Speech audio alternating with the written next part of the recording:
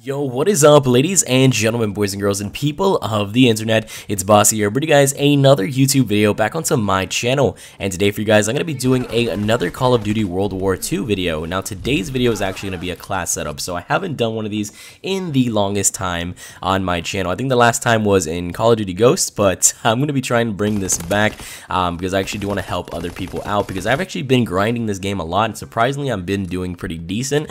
I'm not a pub stomper, but, uh, you know holla at your boy, I can clutch.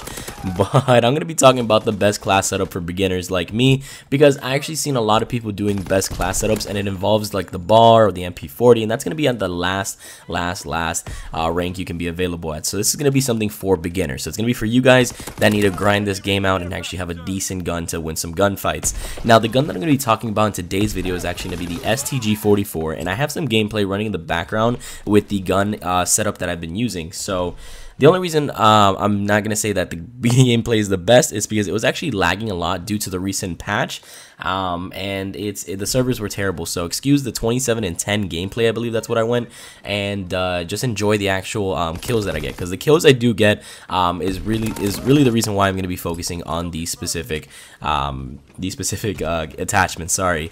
So there's going to be two versions of it. Uh, one that I personally like to use, and then one that my brother prefers to use. So for the STG-44, it's overall really balanced weapon. Um, I like the fact that it feels like an assault rifle, uh, even though it's a submachine gun. It's actually the third submachine gun you can unlock and I believe you can unlock it around level 10 I believe I'm not sure don't hold that against me but this is gonna be around a level 10 class basically so this gun itself is, uh, like I said, pretty well balanced, and these attachments honestly already make it pretty OP. So the attachments that I like to run are grip, quick draw, and um, sorry, high caliber.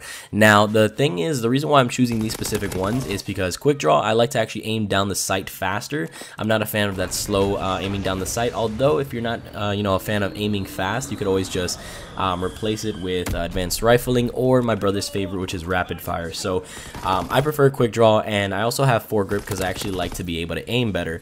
Um, you know, especially in you know long distance gunfights, it actually comes in really handy, and actually one reason why ties in with another of the attachments, which is high caliber.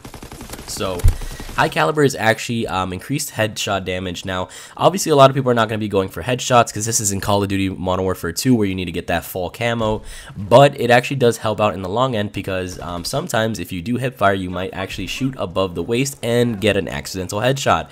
So in this game, um, the Call of Duty uh, World War II hitbox detection basically, um, it actually registers headshots if you shoot around the nipple area and above. So basically, if you can shoot from the from the breast to the shoulder, you pretty much get a headshot headshot because um, it actually counts as a headshot damage. So if you do put high caliber, if you aim anywhere around the waist, you might actually end up getting a headshot. So it does help out when you're trying to get that uh, three shot kill and then dip. Um, so this actually does help out in close quarters if you're just spazzing out like I do sometimes in hip fire. I actually did get a couple of headshot kills in the gameplay in the background. I don't know if you guys can see it um, by just you know hip firing, and it was actually pretty cool.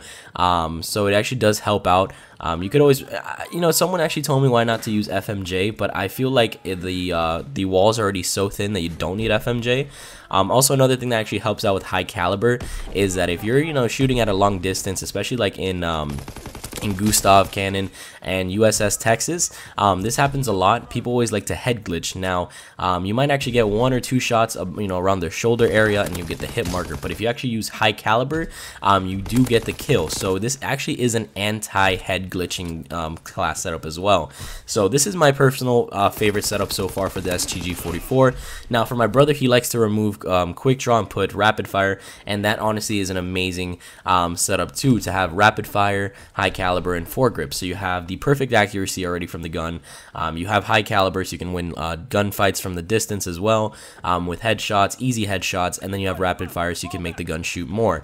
Now, in my opinion, the STG-44 already shoots fast enough, but if you want to actually win more close combat fights instead of long range, then I would go with rapid fire. But for now, it's a pretty balanced gun, and I do enjoy using this setup, and I hope you guys do enjoy using it as well. Let me know what you guys think about this setup down in the description. Um, if anyone actually needs to know, I'm actually running the infantry class as well on this, or infantry division, and uh, that's pretty much about it. So again, I hope you guys did enjoy today's video. If you guys did enjoy it and want to see more class setups, let me know in the comment section down below. I'll be more than happy to grind out some gameplays for you guys and get some decent, um, you know, class setups uh, arranged for you guys.